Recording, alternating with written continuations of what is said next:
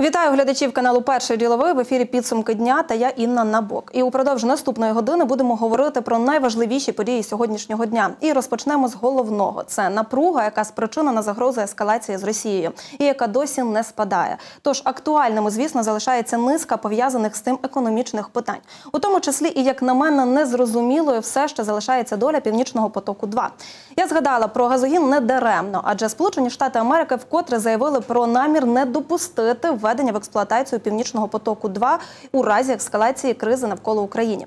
Про це заявив офіційний представник держдепартаменту Нед Прайс. Він додав, що турбопровід ще не запущений, і це дає адміністрації США важелі тиску на Росію. Та чи дійсно це так? Я запитаю в експертів, адже в студії зі мною сьогодні Олександр Бондаренко, економіст та директор бюро інвестиційних програм. А на зв'язку із нашою студією скайпом Геннадій Кобаль, директор Експро Консалтинг. Пане Геннадію, ви нас чуєте?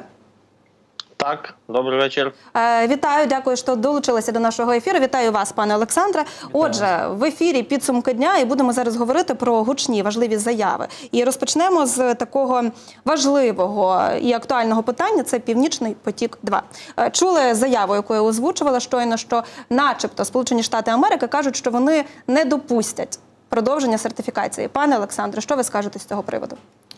Е, Скажу, що це дійсно питання і економічне, і геополітичне запуск Nord Stream 2, і що це не єдиний газопровід е, Російської Федерації до Європи. Треба про це пам'ятати.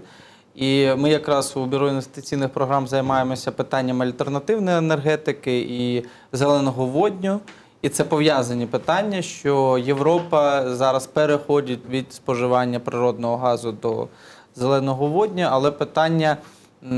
Чому цей Nord Stream 2 такий важливий для е, Німеччини, такий важливий для Європейського Союзу?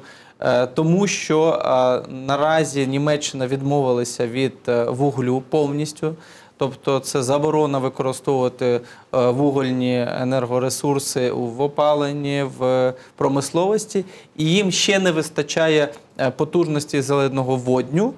А вихід, який вихід використовувати природний газ. Тому в їхніх, на жаль, для нас, для України, економічних інтересах все ж таки запустити цей е, е, Nord Stream 2 газопровід, і він е, буде додатковим джерелом для енерго, енергопостачання і опалення і для населення, і для промисловості. А я нагадаю, що приблизна потужність цього газопроводу це приблизно 50 мільярдів кубометрів на рік можна прокачати, викачати з з російських газосховищ до е, Німеччини е, в цьому випадку. І це приблизно забезпечить 28 мільйонів домогосподарств е, німецьких в першу чергу, е, їхні енергопотреби. Це досить велика кількість, це третина Німеччини може забезпечувати свої потреби у газі. І це в середньому і домогосподарство, і промисловість. Тому е, наступні 3-4 роки Німеччина не зможе е, перекрити потреби в природному газі зеленим водням. Ще немає е, угу. потужностей по зеленому водню. Від вугля відмовилися, зеленого водню ще немає. Немає природний газ. Тому вони будуть лобіювати введення цього північного потоку. 2 на жаль, знов таки це реальність. А от питання, чи вийде чи ні, е, в них е, запустити його і коли. Ось, Ось це е, ми, до речі, про це зараз поговоримо. Пане Геннадію, зараз в мене буде до вас запитання. Дивіться, ми ж знаємо, що поки що триває пауза у процесі сертифікації. Я нагадаю, вона що 16 листопада почалася. Що можете сказати зараз? Знаємо про створення Nord Stream 2 дочірньої компанії. Власне кажучи, через це і почалася ось ця пауза. На якому етапі зараз відбувається взагалі сертифікація? І чи може надовго затягнутися ця пауза? Ну на, на теперішньому етапі е, створена. Е, компанія зареєстрована в Німеччині, і е, можна починати е, процедурні питання сертифікації, які е, ну, формально займуть приблизно там 4 місяці. От. Але е, насправді е, ну, е, є ще дуже багато перепон, і ще е, ми знаємо, дуже активно в цьому напрямку працює і Польща, і, і Україна. Е, НАК Нафтогаз. е, там свої е, зауваження до сертифікації. Буквально на цьому тижні заявив, що буде подавати. Тому я думаю, що навіть 4 місяці це такий дуже оптимістичний сценарій для сертифікації. Реально працювати, якщо навіть це буде для них складатися кращим чином, то я думаю, там два рази більше часу це буде займати. Тобто місяців вісім, напевно. Ну але е, також треба розуміти, що е, сертифі... пройти сертифікацію, отримати це е, одна справа, а постачати газ це інша справа. Е, завжди над цим е, газогоном, навіть якщо він запрацює, завжди буде висіти домоклів меч е, і зупинки. Тобто, в будь-який момент е, цей, е, робота цього газогону може бути зупинена. І тому вже зараз стає зрозуміло, що це була помилка побудова цього газогону. Всі компанії, які були залучені до цього проекту з, великими збитками е, зараз. І е, я думаю, що е, в найближчий час навряд чи питання е, буде вирішено. Я маю на увазі нормальної роботи цього газопроводу, навіть якщо сертифікація пройде успішно. Е, Зараз е, пане Геннадію, пан Олександр хоче продовжити. Я додам для історії питання, що в цьому році, 22-му, буде 11 років цьому проекту, тому що саме в 2011 році стартували е, так звані feasibility studies, тобто експериментальні дослідження наукові щодо побудови саме Nord Stream 2. І 11 років, уявіть собі, інвестиції в цей проєкт за різними оцінками експертів від 15 до 18 мільярдів е, доларів у цей проєкт вклала е, Російська Федерація для того, щоб побудувати там разом з консорціумом компаній. І, звичайно, ці е, шалені гроші вони зараз не працюють. Тобто окупність цього проєкту е, за 11 років інвестицій ще, мабуть, е, там 10 чи 15 років е, треба буде відпрацювати, щоб відбити ці інвестиції. Але питання, чи введуть е, у 2022-му дійсно Північний потік в роботу чи ні, може бути і ні. І що з цим робити Україні? Я як економіст професійно знов таки е, скажу, що для України який економічний ефект введення північного потоку? Це втрата транзитних е, грошей да, для за ті гроші, ці 2-2,5 мільярди доларів в середньому на рік, які ми завжди отримували в державний бюджет за транспортування газу до Європейського Союзу. Ці 2,5-2-2,5 мільярди доларів ми е, майже автоматично получали, отримували кожного року в державний бюджет і витрачали на е, соціальні гарантії, на зарплатні вчителям, на підтримку нашої медичної інфраструктури і так далі, на капітальні програми будівництва. Е, Зараз їх не буде, якщо введуть Північний поток 2. І питання, як компенс- компенсувати е, державному бюджету ці 2-2,5 мільярди доларів. Для нас це нагадаю десь е, півтора відсотка ВВП. Насправді ці гроші, тому що е, ВВП у нас близько 200 мільярдів доларів, тобто відсоток півтора. І е, питання знайти ці економічні знов таки стимули і компенсатори, щоб ми не відчули на себе економічно як держава, як е, громадяни, як домогосподарства втрату цих там відсотка чи півтора. Тобто ми можемо стати бідніші на там півтора відсотки. Загальноекономічному розумінні це досить великі суми, е, тому що е, ми зростаємо 3,5% ВВП щороку в середньому, да, протягом останніх 10 років. Якщо це буде не 3,5, а 2%, зростання ВВП це замало, щоб ми відчували покращення нашого економічного добробуту. Е, Ось до речі, пане Олександре, про ці величезні збитки кажуть і у Нафтогазі. Навіть от глава Нафтогазу Юрій Вітренко він же ж неодноразово казав про те, що взагалі створення цієї навіть дочірньої компанії е, Росією це є е, нехтуванням взагалі європейським законодавством. Зі свого боку, Росія вкотре просто демонструє свою зневагу до Європи. А от інші країни Європи повинні нас підтримати. Пане Геннадію, також ви можливо додасте. е, То про підтримку яких країн можна сьогодні найбільше говорити? Тому що ми розуміємо, що приміром Німеччина вона поки що не надто буде поспішати ну демонструвати принаймні нам свою підтримку, тому що вже ж зі слів пана Олександра зрозуміли, що Німеччина поки що зацікавлена зовсім в іншому розвитку подій. Ну, якщо ми подивимося, е, хто найбільше постраждає від е, введення в дію Північного потоку 2 це в першу чергу, крім України, Словаччина, е, Чехія, Польща. Е, Тому я думаю, якраз це е, наші такі союзники в цьому питанні регіональні. Звичайно, що Сполучені Штати дуже активну роль в цьому займають, і їхня допомога дуже відчутна. Але в цілому, якщо ми так подивимося, звичайно, що в даному випадку, напевно, Польща є нашим найбільшим потужним е, партнером. е, Союзником у боротьбі з побудовою північного потоку 2 і е, це якраз е, та країна, яка втрачає так само від побудови. Е, ми ще не відчули в повній мірі те, що відчула Польща. Е, Росія відмовилася е, вже майже місяць не працював е, Ямал. Це газогін, який з Росії через, через Білорусь, Польщу йде в Німеччину, і він не працював. е, е, Місяць, і це дуже сильно е, ускладнило роботу, якраз постачання газу е, у Польщу. Але поляки вже мають свій lng термінал і там е, є можливість е, заміщувати е, поставками LNG з, з, з тої ж Америки чи Катару.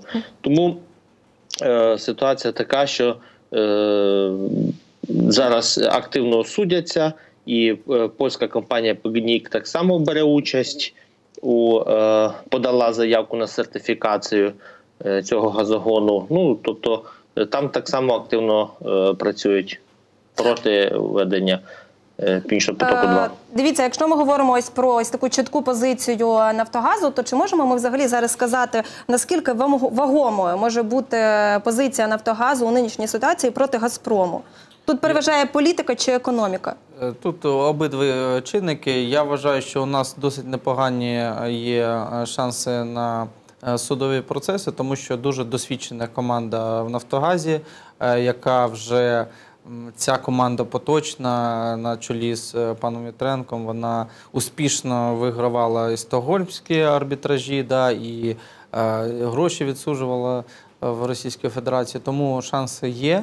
У нас дуже потужні юр- юристи, юридична команда і там консорціум юридичних е, компаній, які консультують е, і Нафтогаз, і Державу України, і досить потужне Міністерство юстиції з дуже фаховими е, юристами, які зараз по багатьох кейсах працюють і у Страсбурзі, і в Брюсселі, і в- Газі. Тому в цьому приводі я, думаю, що навіть наша команда буде однією з лідерів щодо судових процесів поруч з нашими звичайно партнерами Польщею, Словаччиною і Словакією. І е, тут треба, але все ж таки треба готуватися до плану Б, якщо в судах не вийде там за, за рік заблокувати цей проект, що ми будемо робити От я хотіла запитати, якщо сценарій буде розгортатися іншим планом, не на користь українській стороні, що тоді далі? А далі знов таки треба е, працювати в, е, над економікою, над економічною системою компенсації цих втрат 2 мільярдів доларів. Яким чином, і ми е, з вами колись про це говорили: створювати економічні стимули, створювати більше індустріальних парків. Парків. Про, про, це ми говоримо і працювали разом з законодавцями над е, власне концепцією індустріальних парків, що нам не вистачає е, там інтегрувати в законодавстві, щоб вони дійсно запрацювали. Ці там 25 індустріальних парків, щоб до нас е, у нас збільшувалася податкова база. А власне податкова база, коли збільшується, то збільшується. Е, Надходження державного бюджету, а задача оці 2 мільярди доларів, тобто там майже 60 мільярдів гривень, компенсувати до бюджету на рік. Це не так в принципі багато, якщо Але ж е, дивіться, я хочу уточнити про, якщо ми говоримо про індустріальні парки, в уряді повідомляли, що ось ці 25 хочуть створити вже до кінця 2024 року. Це реально? Вони створені на папері, але треба, щоб туди зайшли реальні компанії і українські, і іноземні, щоб реальні заводи виняли людей, почали е, виробляти якусь продукцію. Тобто вони є, є навіть огороджена територія, нема підприємств. Немає. І дивіться, ще Да. один важливий момент. Деякі експерти кажуть, що ось ця напружена ситуація політична, яка наразі відбувається, вона може гальмувати ось цей е, практичний процес створення індустріальних парків. Ви з цим погоджуєтесь? Ну, звичайно, що е, наразі такий є новосний новинний фон, що наше бюро інвестиційних програм багато дуже транзакцій і проєктів, які активно ми обговорювали з інвесторами і з компаніями, які залучають фінансування. Призупинили е, просто свою діяльність через те, що такий е, негативний новинний фон, і всі про це говорять, що зараз інвестиційний клімат такий дуже ризикований в Україні, і що не радять аналітики і кредитні агентства, і рейтингові агентства іноземні інвестувати гроші в Україну. Тобто всі постав, всі інвестиції зараз іноземні на паузі 100%. 100%. Тобто е, немає іноземців, які хочуть зараз щось тут побудувати чи купити долю в компанії. Якщо ти це тільки не IT чи не digital стартапи, тому що тут ризики мінімальні, тому що це все у хмарі і можна інвестувати. Тут е, йде ринок, тобто в IT вкладають і надалі. Це наш е, супербезпечний в цьому е, плані сектор для інвестицій. Але решта компаній, е, агропромислові, промислові, побутова техніка, FMCG, всі е, інвестиції навіть по нерухомості при- призупинилися. Всі чекають, що там буде далі, там до середини 2022 році. І це нормально, це окей. Треба цей період стабілізуватися і потім вже працювати над залученням інвестицій. Але все ж таки треба більше е, економічної безпеки надавати і українським, і іноземним е, підприємцям, щоб вони вкладали тут грошей і прозорих єдиних для всіх правил гри. Е, Є така пауза, знаємо. Е, Я зараз хочу повернутися до паузи в оповореннях е, Північного потоку 2 Я не знаю, мені здається, ось е, зараз і пана Геннадія хочу запитати, що от е, саме зараз якось менше міжнародна спільнота обговорює запуск Північного потоку 2 Е, З чим це пов'язано? Тому що ще влітку і восени 2021 року були більш активні міжнародні якісь переговори, е, намагалися якось врегулювати цю ситуацію, обговорювалися певні там і е, законодавчі позиції. Е, Що відбувається зараз? Просто напруга, яка зараз навколо цієї е, вторгнення повномасштабного Росії на Україну, вона якось відвинула на, другий план ось це питання. Ну, Звичайно, якщо ми подивимося е, стрічку новин, ми побачимо, що там на першому місці е, це можливість військової агресії. Але е, повернуся до питання Північного потоку. Е, Сполучені Штати чітко о, пов'язують е, введення в дію і роботу взагалі і. Більше того, майбутнє цього північного потоку з е, політикою Росії, в тому числі по відношенню до України. Е, тому е, ніхто про цей північний потік е, не забув. Е, просто е, трошки інші зараз е, питання на порядку денному. Але е, цей північний потік е, він е, чітко прив'язаний до ситуації ну, в східній Європі геополітичних розкладах, і е, ніхто не, ну, не буде е, про нього забувати. Навпаки, питання зараз майбутнє північного потоку, я би навіть сказав, воно ще е, набагато ускладнилося. Ми побачили там зі зміною влади е, переформатуванням політичної влади в, е, Німеччині. Е, там з'явилися нові сили політичні, які трошки по-іншому бачать роль північного потоку, і ну, в тому числі негативну. Тому о, зараз е, по всякому може розгортатися ситуація, в тому числі, можливо, навіть і цей північний потік ніколи не запрацює. Ага, зрозуміла. Може навіть такий сценарій бути. Я, до речі, хочу повернутися ще трошки до початку програми. Здається, якщо я не помиляюсь, на початку ви сказали, що ось ця пауза вона може тривати десь 4 місяці. Е, то що означає, що десь наприкінці березня може таки бути поновлено цю сертифікацію?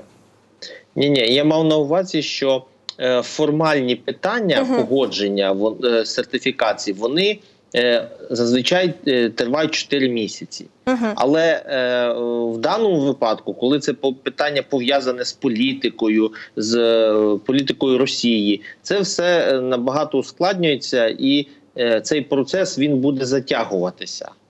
Е, Тобто е, довше буде відбуватися. І навіть пройшовши сертифікацію, е, це ще не буде означати, що е, він буде працювати. Е, Сертифікація це одне, а е, там блокування його е, через політику Росії нікуди не дінеться і воно може бути застосоване.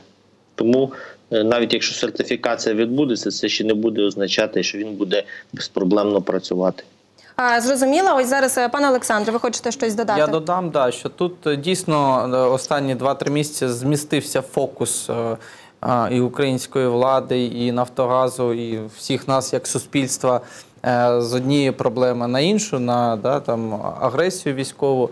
Але е, я вважаю, що треба підключати і максимальний піар і GR як на рівні держави, нам Ук- Україні, і Нафтогазу як великій е, компанії, да, і е, ГТС України, газотранспортні системи України, да, всім тим компаніям і нам, е, владним структурам, треба включати на європейському рівні потужну піар і GR кампанію як в публічній площині, так і не в публічній, не в офіційній, а face-to-face контакти з європарламентарями, з депутатами Бундестагу, з керівниками профільних асоціацій, зі ЗМІ.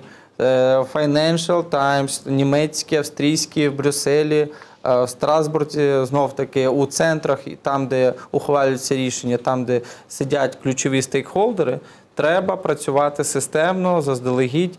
І це називається потужна піар-джер-кампанія на декількох рівнях, щоб зупинити е, це підключення як в технічному, на технічному рівні, так на економічному, так і на політично-євроінтеграційному. От в цих трьох площинах тобто, це е, можна виходить, зробити. що ось попри ці безпекові питання і ось політичну напружену ситуацію, все ж таки Україна має намагатися зробити так, щоб ситуація довкола північного потоку 2 вона теж там не замовчувалася і не відходила повністю там на інший план. Правильно? Абсолютно, да. І це можна і треба робити системно, і це можуть робити, як пр- працюють у Росії. Ми знаємо дуже багато лобістів і компаній спеціальних для цього.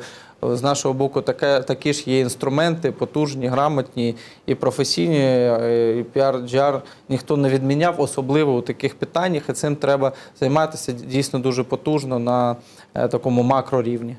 Е, До речі, про газ також хочу зараз поговорити трішки, тому що знаємо, що ще в жовтні 2021 року Україна призупинила закачування газу до своїх природних сховищ. Чи була виправдана така стратегія? Що можете вже зараз сказати з цього приводу?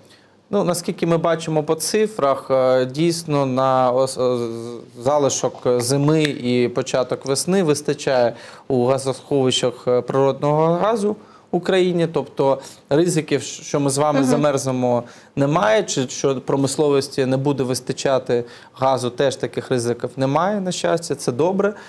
Єдине, що ціна поки що е, завищена да, на природний газ, е, але це європейська чи світова ціна на природний газ. Ну, здебільшого європейська. У США е, природний газ дешевше зараз, да, десь 400 доларів, а тут у нас е, 1000-1100. І це звичайно тяжко. От, наприклад, е, е, Вільногірськ е, це склозавод і скляна взагалі індустрія України, галузь виробників скла.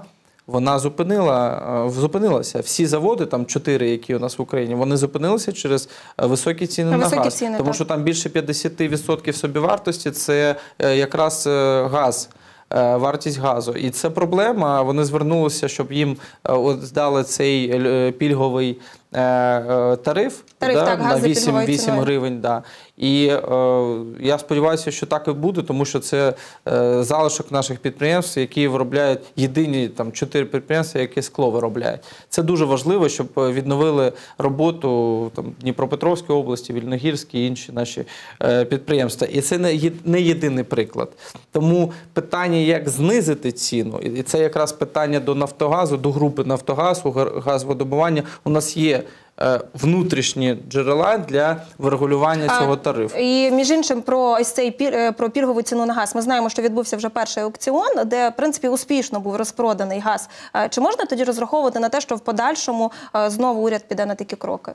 Я думаю, так і буде відбуватися, до, до, допоки не відійде ціна на до, до кризовий період. Там до липня вона е, сягала 300 доларів. Да, це абсолютно були е, ринкові показники. Тобто треба перечекати цей період, е, поки це геополітичне нагнітання з боку РФ власне і спричинило підняття ціни більше ніж до тисячі доларів за тисячу кубометрів. Да? І е, я думаю, що десь на посередині весни вже буде ситуація більш-менш стабілізована, але подивимось, тут прогноз дуже складно робити. Мгм. А, Пане Геннадію, а що ви скажете? Чи відомо вам, можливо, цифру якусь можете назвати? Скільки взагалі зараз газу є у природних сховищах України?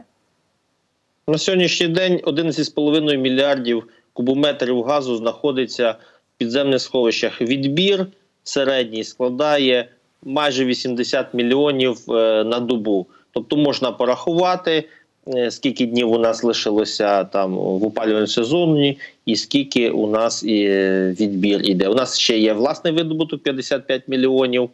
Е, тому е, ну в цілому ситуація непогана. У нас зменш... ну, у нас порівняно з минулим роком менше споживається газу. Це через високу ціну. Якщо ми беремо січень, то це там 10% і більше. Е, у нас е, падіння споживання. е, В першу чергу, звичайно, за рахунок промисловості, бо все дуже дорого. Ну але і погода у нас тепла, відносно тепла зима, і це сприяє тому, що у нас споживання газу доволі низьке. Тобто, в цілому можна говорити про те, що газ, який у нас є в підземних сховищах, його вистачить для проходження опалювального сезону. Але у нас зразу постає наступне питання: як тільки ми у квітні зупиняємо е, відбір газу з підземних сховищ, у нас питання постає.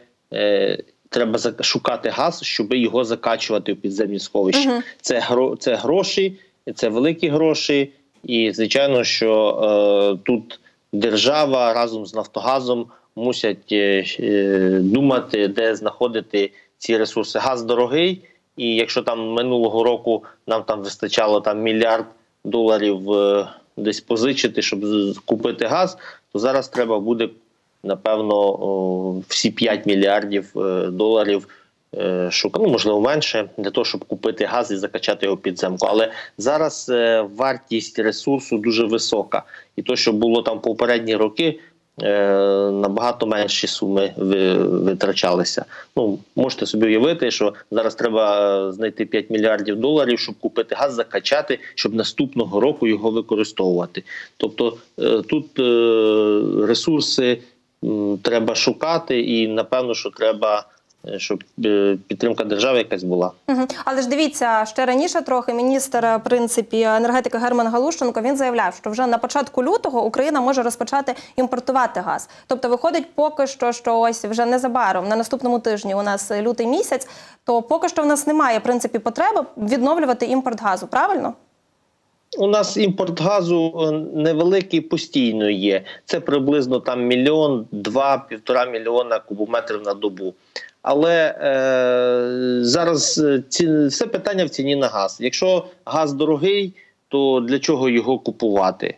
Е, ну, нема економічного зиску е, імпортувати газ. Коли, е, якщо ми подивимося зараз на фьючерси, то весною ціна на газ буде там майже на 15 на 20% нижча. От тоді можна навіть зараз купити газ, е, ресурс квітня чи, чи травня він буде дешевший. Тобто зараз е, дорогий газ. Е, ну, змісту його купувати нема. Хіба якщо є критична якась необхідність е, там в газі не вистачає, тоді, звичайно, треба купувати за любою ціною, будь-якою ціною. Пане Геннадію, зрозуміла. Дивіться трошки більше про те, чи може бути така критична необхідність вже цієї весни. Ми поговоримо згодом у наступній частині нашої програми. Тож залишайтеся разом з нами. А нашим глядачам я нагадаю, що зараз на каналі Перший діловий невеличка реклама, і ми повернемося до студії вже за мить.